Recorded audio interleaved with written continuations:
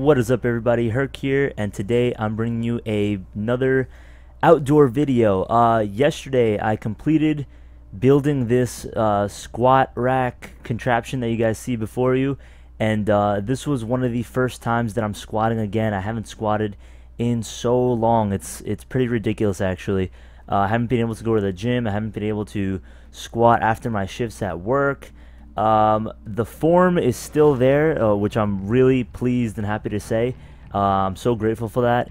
Um, but the thing is that any, pretty much anytime I deadlift, I always kind of work on my squat form. I'm kind of transitioning a little bit more into sumo deadlifting, so that really helps with my squat form. It helps me keep uh, my hips open wider and keeps the hips pretty pretty mobile, uh, so I don't really lose that form, which is which is always good. Um, so basically, um, I'm trying to go for speed here. I'm hitting decent weights. Uh, you guys are going to see at the end.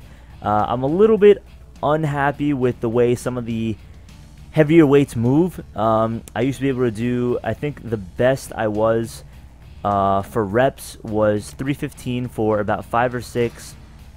And uh, towards the end of this video, you guys are going to see what kind of numbers I, I put up. And uh, I don't know, just overall, I'm not really happy with it uh, as much as I used to be for this last rep right here, I was, this is still pretty much my warm-up set. So what I like to do is um, to really open up the hips and uh, provide more of an eccentric load for my legs uh, and really get them fired up and uh, and going. Is I like to squat as slow as slow as I possibly can uh, until I hit the bottom, and then I just explode up from the bottom. And what that does is it provides an eccentric load, like I said. And basically, if you guys don't know, there's three I, I think I've mentioned this in my previous videos, but there's three different types of uh, um, contraction types. There's um, con uh, concentric contractions, isometric contractions, and eccentric contractions. The eccentric, what I was doing on the descending portion, uh, basically when you're going down on a squat, uh, is what's known as the eccentric portion. And basically it loads up, it provides the greatest load to your muscles, um, which is what I'm trying to do, especially as a warm-up uh, so that I can so that I'd be able to hit these heavier weights uh, as you guys can see right here. So right now, no belt, no wraps, no nothing. Uh, just have the uh, the wrist wraps. Uh, keep those wrists straight. Uh, I'm trying to get myself as much accustomed to wearing what I would be wearing if I was going to be in competition. the only thing I'm missing that I really haven't bought yet is a is a singlet and like some real some real decent uh, knee sleeves like SBDs or uh, or uh, Rehbands or anything like that. Uh, I still haven't bought those, and uh, honestly, I don't know if I'm gonna be ready in time to compete in August. There was two competitions that I was thinking of joining. Uh, one of them is actually full now, and I, they put me on the wait list, which really sucks because it was only like 20, 30 minutes away from my house, really close and local meet. Um, but that one I got shut out of. And there's another one in New Brunswick, New Jersey. Uh, I can't remember if it's August 1st or August 15th. One of those. And uh, that one's still a possibility, but honestly, um, I have to see. I really just have to see because it depends on how much work and how much progress I make in the next month. Um, I I would like to wait it out though, because you never want to rush if you're preparing for something, and especially if it's my first meet. I don't want to rush into it and uh, you know not be 100%. Uh, I want to get there steadily, progressively, and uh, now that I'm finally done with my summer class, I'll have more time to do that. But uh, one month, uh, like a month and a half, around that around that uh, duration.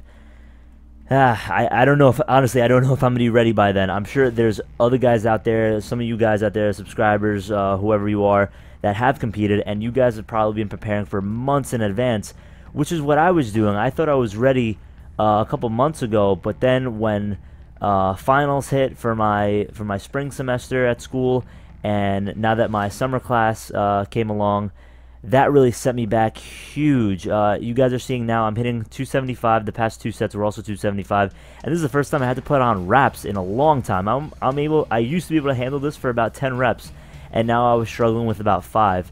Uh, so I used to be able to hit 315 for like five or six, no problem, and I'm struggling with this. So there's a lot of work to come, and uh, I hope you guys join me for that journey. What is up guys, Herc here, and today I want to bring you guys a video where I showcase my latest invention. And uh, a lot of you might be might be saying to yourselves, damn man, where have you been?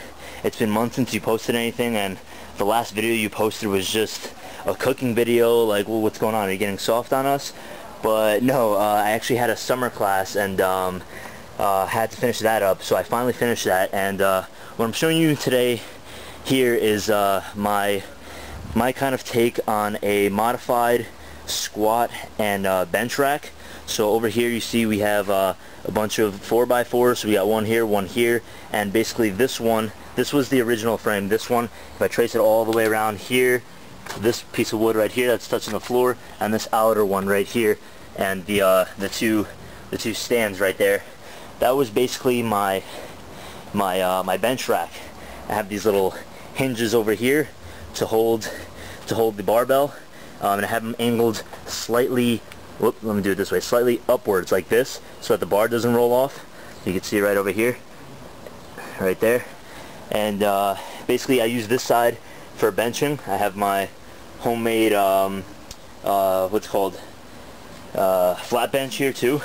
So that's where I usually bench, right over here. And the the extra modification that I made today is these bad boys right here. This this 4x4, this really tall one, and this 4x4 right up here, this tall one. And basically this side is used for squatting, as you guys can see. Let's see if I can get a clear shot of it all. Right there. Yep. So it's a pretty good height. Uh, it's uh, yeah, it's like perfect for for my size for squatting. Uh, if anybody else ever wanted to use this, they'd probably have to you know bend down a little bit lower. But uh, it works for me, and um, I don't know. I think overall it's a pretty solid setup. I just did a couple of sets which you guys might have seen. I don't know if I'm going to put this at the beginning of the video or the end. Probably the end. But um, I just did uh, 275 for a couple reps, and this thing was flawless. And the thing that really made a difference was these things right here, these metal pieces. Put it like one on each leg on the bottom and it really balanced out the uh, the wood because um, the wood right over here this was the only part of it touching like touch that, that was flat with the ground so all the legs were just wobbling they were up in the air so that really helped uh, helps keep them stable so that makes a huge difference like if I shake this thing right now like it's it's solid. Nothing's wobbling, nothing. I'm still shaking it, and it's it's still staying in place. So pretty awesome. I'm pretty happy with it. Uh, the only two other things that I have to do with it is um, I'm going to paint this wood uh, black, just like this bench is. Uh, pretty much the same color. I'm going to uh, paint over the uh, the Simpson Strong-Ties, and uh, I think I'm going to leave these, have some silver accents on it, this and and on this side, and um, basically just paint it. And oh, the cool thing is, since this thing is pretty heavy right now, and uh, since I have it in my backyard, like this is usually like where we where we park our cars, like we have our, our cars over there. Um, I'm gonna need to put some some wheels, probably one over here, somewhere here, and one on the other side, right there near that near the metal piece, just so I could lift it, so I could be able to lift it up from one end and roll it around.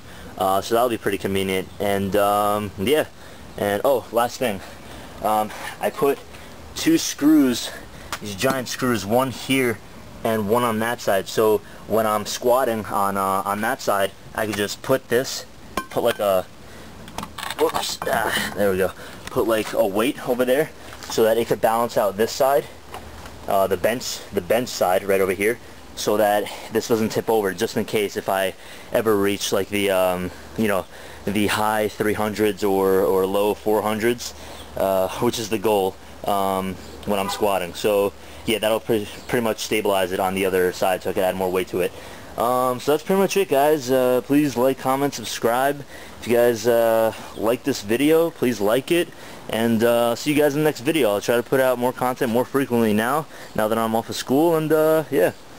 Alright, I'll see you guys in the next video. Take care now.